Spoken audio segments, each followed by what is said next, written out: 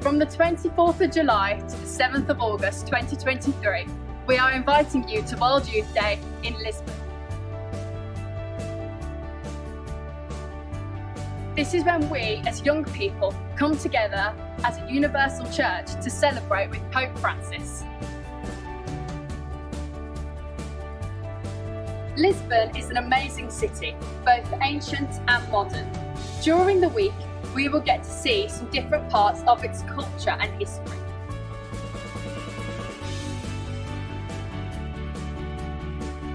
The theme of World Youth Day 2023 is Mary arose and went with haste. This biblical phrase is the beginning of the account of Mary's visit to her cousin Elizabeth.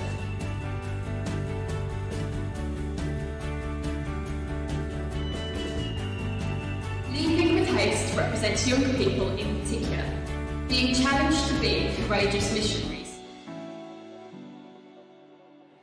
No matter where you are on your journey of faith, World Youth Day is open to you.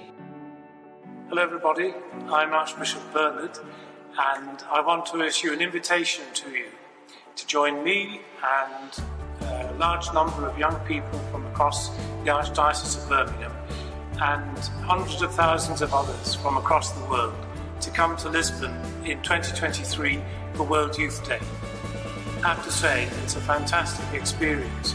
Wonderful place to be with old friends, to meet new friends, to spend some time with Pope Francis, but so much more as well, to be in company with our Lord in Lisbon, to deepen our faith, and I think also to have a great deal of fun together in a way which really contributes uh, to the good of the world.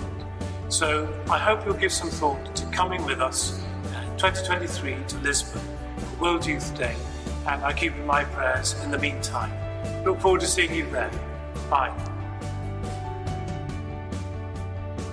If you are between the ages of 16 to 30 in July 2023, then why not come and join the Archdiocese of Birmingham's pilgrimage to World Youth Day in Lisbon? Bookings are now open. For more information about World Youth Day and to sign up now, visit www.kenelmyouthtrust.org.uk.